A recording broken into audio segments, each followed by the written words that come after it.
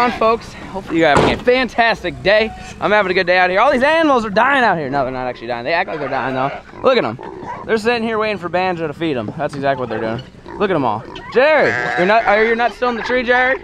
Oh, he's, oh my God. Aaron hit it. Wow. Jerry.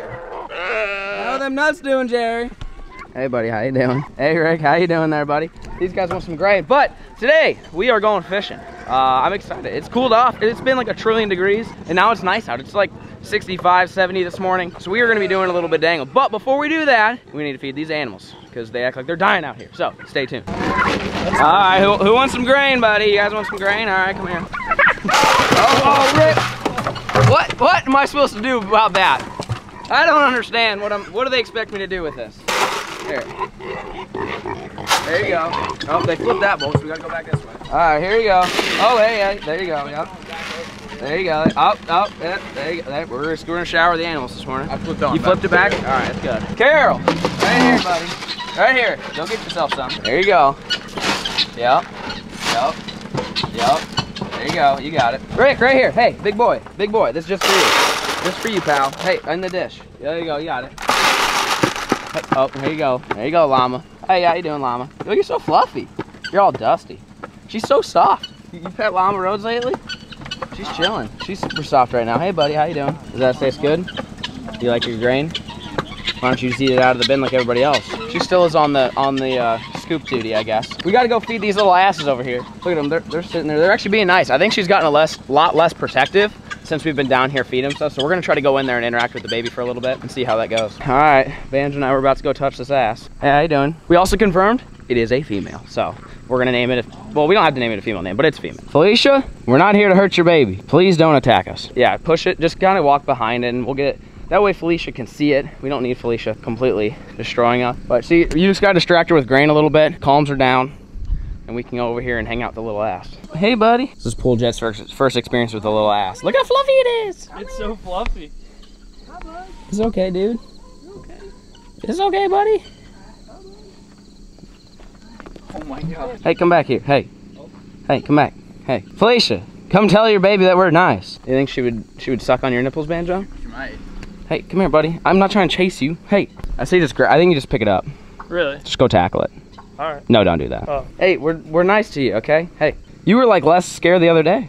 What's what the, what's that strat? Cool Jet wasn't here. Oh yeah, she she scary. she's yeah, she's I'm scared of the old pool jet. Yeah. That's that's understandable. Why don't we go over by your mom, and then maybe your mom will uh, talk in donkey language to tell you that we're chill. Hey, let's go. Let's go hang out with your mom. She'll convince you that we're chill. Go go hang out with your mom. Go ahead. Go ahead. Go ahead. Go ahead. Go ahead. Go ahead. Come on, you got it. Get, go go get some milk. Go get some milk. Why is there chicken in here? Hennifer, what are you doing there, buddy? Felicia, can you tell your your child that we're chill? Or how's that work? She's not a wide load anymore. Oh God! Oh oh God! You're about to get kicked. Oh, back up, back up, Tiffany. Tiffany. No, don't kick the baby. No, we don't need another collateral damage. Don't do that. You see her? She's biting Tiffany's neck. Kinky. Kinky boy. Hey, you all right? Hey, hey, we're not gonna hurt you. Hey, please don't kill me. Hey, I'm your friend. Hey, come here. Hey. Oh, hi, buddy. Hey, we're not gonna hurt you. We're not gonna hurt you or your baby. We're here to help. All right, all right. I guess we'll just let you have your space. Oh God, she's kicking. Relax. See, she don't kick us. She, she'll kick other animals. She don't really kick us. Anyways, the little baby, well, she's cute as can be. We, we have yet to name her, but she won't let us get close quite yet. We're just, you just got, oh God, hey, she, he, he, she I wasn't gonna stand there for that Tiffany one. kicked her. really? Oh, very hard. Hey, go get some milk. Oh God, oh Rip, Rip, oh. Rip, Tiffany, back it up. Oh God, oh God, Oh, oh God, Lucy. Lucy, Lucy, get out. All right, we're stressing her out. I'm leaving. I don't want to stress her out too bad. We're trying to make an effort every single day to come down and hit, what's the strat here? Nice I love Hennifer. Just chilling.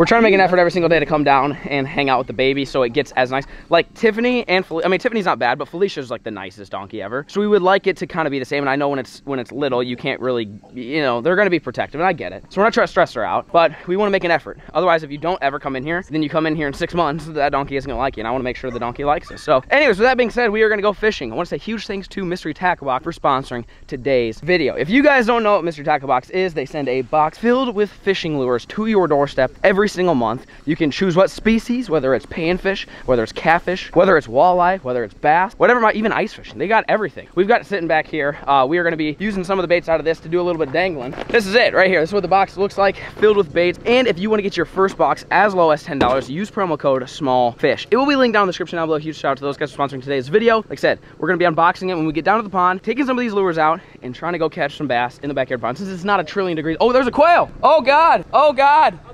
Lucy, Lucy, oh, oh, it's up in the tree. Where'd, where'd, it, where'd it go? Lucy's already trained on these quail. She, she's all about the quail life. Come here, buddy. Good girl. Come here. I think it went across the road. We don't need you going over there. Come here, buddy. Hey, you want to go fishing? Hey, where are you going? Why are you running? Hey, don't go towards the road. Nah, she's on the road. We better go get her. Hey, you stay right here, okay? All right, anyways, we are going to go down to the pond. Like I said, we're going to be doing a little bit of dangling right now since it's not so hot, so we will see you guys down at the pond. Release the hounds. Go get him. Go get him. Go get him, Lucy. Go get him. Lucy. Lucy. Oh, what's this? Is your favorite toy? Can you sit? You sit. Go get it. Go get it. Oh, she cheats. She cheated. You What? you cheated. Come on, Lucy. You got it. Oh God. Oh, yeah. There you go. Good girl. Come on, Lucy. Yeah, she's smart. At least she knows Why's to run so on the shore. smart? Uh, or this is gonna hurt the. Or this is gonna help the bass fishing I bite. think so. Yeah. Lucy, come on, buddy. Bring it back. Oh, you, Oh, hey, wow. hey, Rick, you dropped it a little too, a little too Oh, soon. well, you. Give her the, give her the old yeet, right? Just right in the middle. Lucy, You ready? sit. You got sit. you sit. Sit. Oh, I'll give you a second. Sit. You ready? Go get it. Go get it. Go get it. It's not. She, she contemplated if it was closer on the other side.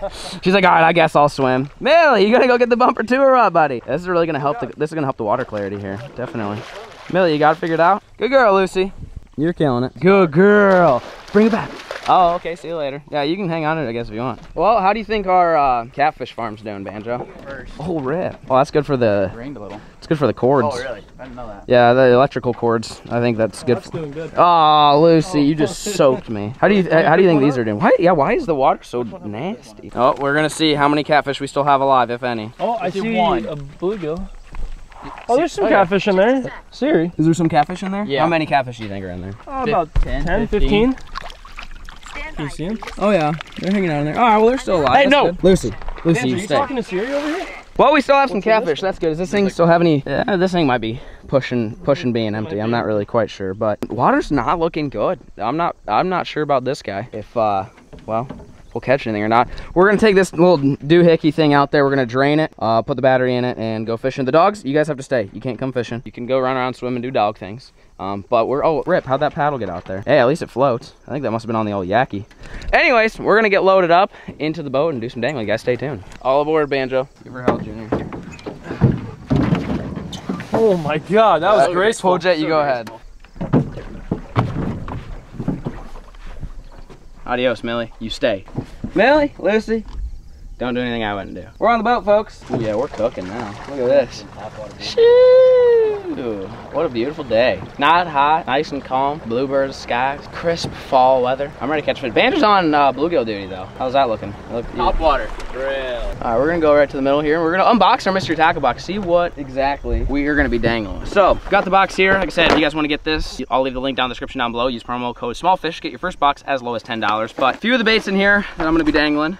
Right here, number one, this is the Exopod. All right, so this is Biospawn. This is what I'm gonna be tying on first to try out. We've also got some Savage Gear topwaters. We've got some hooks and we've got some crankbaits right here. Got this guy, which is a little under underspin classic runner. Deeper diving crankbait and some Xcite Baits Raptor Tail Junior. So, like I said, I'm starting off with the Exopod, little soft plastic, green pumpkin, something a little bit more finesse.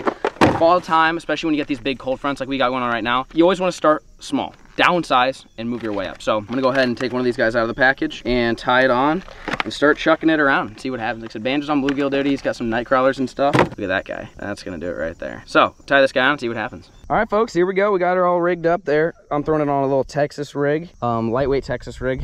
Gonna be flipping and pitching a little bit. This water is a little bit dirty, but I'm still confident that this bait. You're, it's got some good good kickage action. So they're gonna they're gonna feel it in their lateral line, the little action on there. So something a little bit more natural. Again, if it was super clear water, I'd probably lean towards this color. Being that it's a little bit dirty, uh, you know, this color's not bad, better than like a watermelon, but even like a little bit darker, uh, I would prefer with the, the stained water, but it's not terrible. With the sun out, they, the fish should still be able to see it. But quick tip, if you guys are fishing really, really muddy water, I like to use like a darker color. And then if it's more clear, I like to use like a natural color. That's the old tip of the day right there. How are those dogs doing?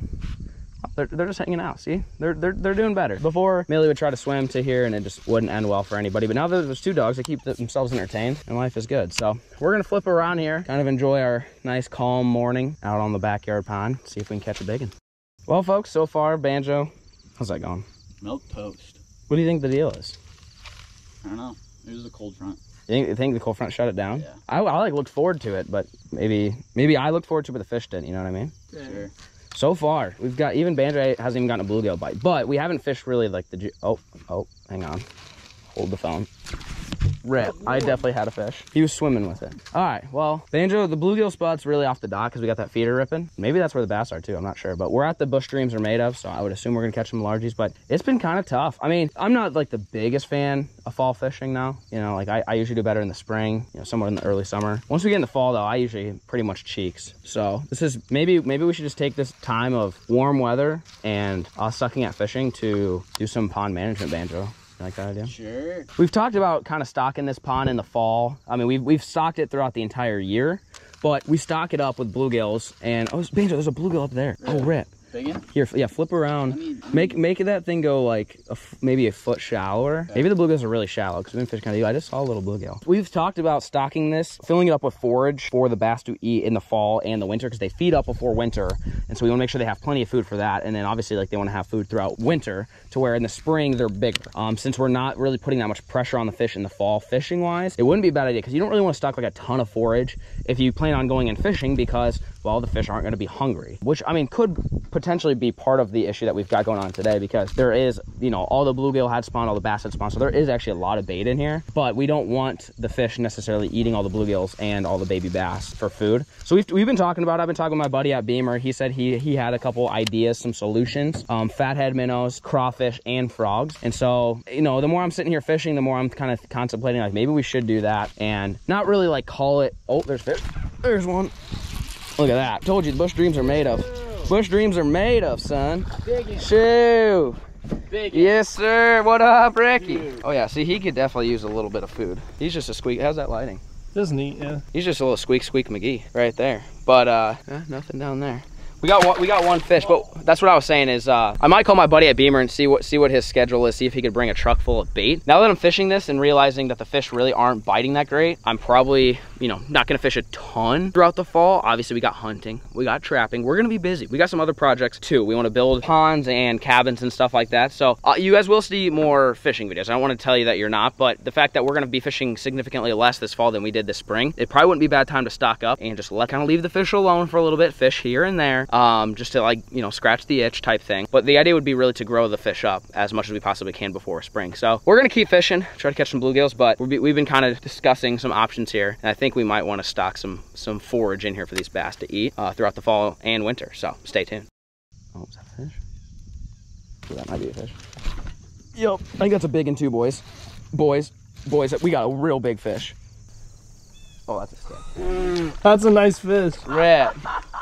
Bro, that felt like a tree pounder, son. That, was a That big one. I thought it was a big one because like it bit. Well, it didn't bite, but like It it hit the stick and then like oh, I just ran that hook right through my thumb. That was neat. I like that. Uh, the the stick it started sliding up the stick, so I looked like I was swimming. And then when I set it, it was just going like this, and I was like, "That's big mama jamma." Hey guys, first time bass fishing out here. This is this is good. Dang, I thought that was big mama, big Sheila. Oh, there's fish. Yep. Oh god, giant PB at least at least three pounds, ten pounds. Choo! Dude, he ate it though. Oh, the old Exopod. Hey, how you doing? Shoo! Gee, oh god, I just hooked him. Dang, I just about killed Pool Jet. That went yeah, right, that went right through your shirt. Shoo! Look at that guy. Well, that's fish number two. See you later, Rick. On the old Exopod, that little doohickey done did it. That's right by the bush dreams are made of. This is this is definitely the spot to be fishing this time of year, the old bush. So, well, we got another fish. I'm gonna make another cast in there, see if I can go three for three. Oh, I got another one. Three for three, baby. Let's go, son. Bush dreams are made of, baby. Oh, God, yeah. Dude, they're loaded, Banjo. We found the juice, son. We found the juice. Oh, yeah, baby. Shoo! What up, Ricky? Oh, he threw the old exopod off. Bro, that was three for three. I literally found where the juice is. I didn't even hook him inside the mouth. How'd that work? Look at that, another largie. See, they're all the same size, stunted. We gotta get some more forage here to grow them up, but there you go, Rick. You got a bite or what? Your dogs are coming down here. Oh, rip. No, no. She's going back. I'm not worried about her as much as I am as Millie. Millie's like just too large to climb. Lucy, no. Oh God, the dog's coming down the cliff. Rip. Oh yeah, that's the cast too. That's it, boys. Let it hit the bottom. Feel the tick. Let them swim for two seconds. Not quite two seconds. Set the hook. All right, try that again. Get the old flip inside the bush. Ooh yeah. Let it hit the bottom. Feel the tick. Set the hook. The old wham bam. All right, folks. Uh, cast number four here. Throw it up there. Oh God. Lucy made it down the cliff. Lucy, no, no, no. Go back. No. Oh my God. What? Lucy. I think she Lucy. come fish. Look, Lucy, you can't abandon Millie. Look, look. Son of, son of a gun. Lucy. Look, where do you, where's your sister go? Where are you going? Come here. Let me get you up. Come here, Lucy. Here, lean on that side. Mm-hmm. Lucy, come. Hey. Hey. Andrew, you know what to do? I'll leave. There you go. Come on, Lucy. Go over there. Lucy. Go over there. Lucy. Go get him. Lucy. What was that strat? No! No! Hey, you left your sister. Shake. Oh, God. Ready? Ah! Shake. Ah! Dad, I'm wet. Absolutely soaked. Hey. Why? Lucy, Why? where'd Millie go? She literally scaled that whole. Cl- we better go back before Millie starts. Oh no! All right, we're going back. Millie, follow us. Go back to the dock. Hang on. I don't want Millie coming because she ain't swimming and she ain't climbing back up that cliff. Lucy, don't get in that habit. That is not good dog. That's bad dog. Millie, go back to the dock, buddy. We're going. Lucy, that was not good. I didn't like that. Why would you do this? Well, we'll go back to the dock and let Banjo try to catch a bluegill and then, well, probably call it a day because if we put Lucy back on the dock, she's just gonna do the same thing and well, she's end up getting hooked if she stays in this boat for too long. Aw, Lucy and Banjo, look at that. That's a good IG pick. I like this pick. Oh yeah. Banjo, how's bluegill duty coming? It's just not on fire today. I don't know why. It's not it. I don't know. Is it the cold front? You think? Sure. Y- Let's blame. Let's blame the weather. Oh, you got a bite. Oh no, Banjo's got a bite. Hang on. We might. We might have just turned. Yep. Get her. Give her hell. Oh, Banjo. Oh, Missed rip. What? All right, throw her right back. Throw her right back. You got her. Oh, oh. Lucy, Lucy, don't bite the hook. Millie, you're not gonna help the bluegill bite. You stay back. Yeah, Millie's, Millie's trying to help me. That is usually the spot I catch. That, that's the juice, huh? right around here. Really? Banjo's bluegill senses are tingling at this point. Millie's Millie's just out there. She's, she's scouting for you, Banjo. She's looking for she's looking for bluegills right She's now. pushing them my way. Yeah, she's just she's just doing a little moving. Right? Hey, Lucy, just relax. It's okay.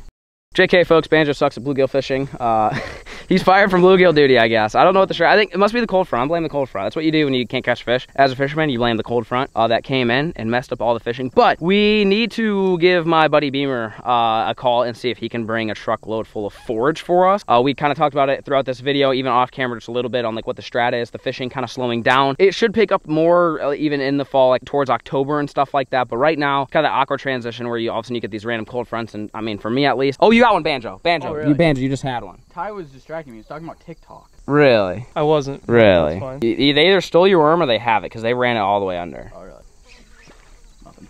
Really? you missed him. I don't think you got that Banjo. Banjo's off his Yeah. game of bluegill Talking duty. about TikTok dances. I guess I guess he's a big TikTok guy. But anyways, we're gonna give Beamer a call, see if he can bring some forage down, stock it up, grow our fish for the fall and the winter. Because you guys saw the, the bass we caught today, all the same size. That's kind of the strat here at the pond. We're trying to fix that, and how you fix that is by growing some bigger fish, getting them some more bait to use. So with that being said, you guys stay tuned.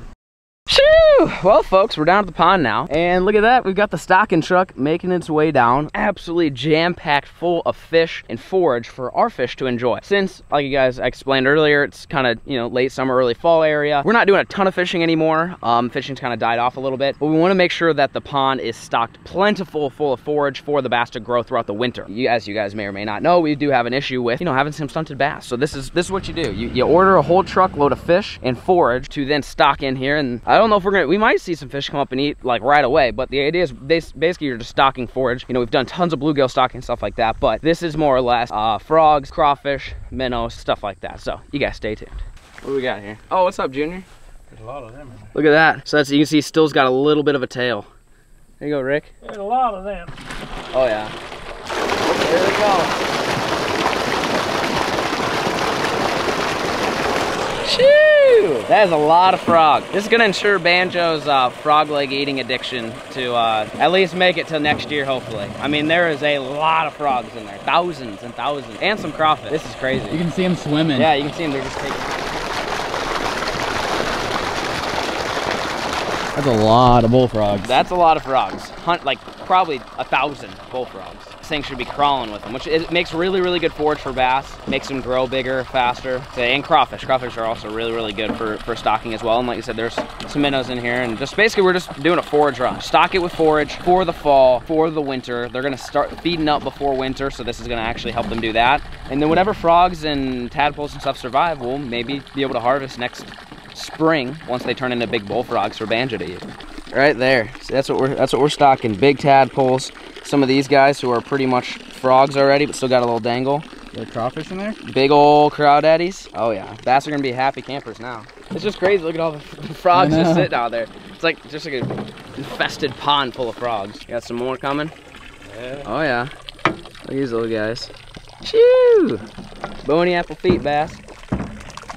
There you go. All right. Yeah. Oh god, look at all those. It's just so crazy. They're all. Oh god, one's about to get. Oh, rip, rip.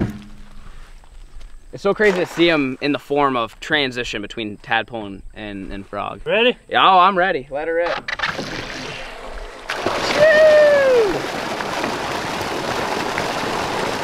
If our bass aren't 10 pounds by spring, I'm gonna be pissed.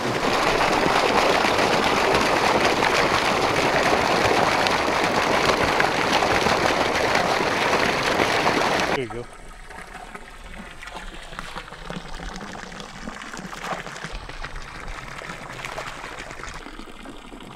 Oh yeah.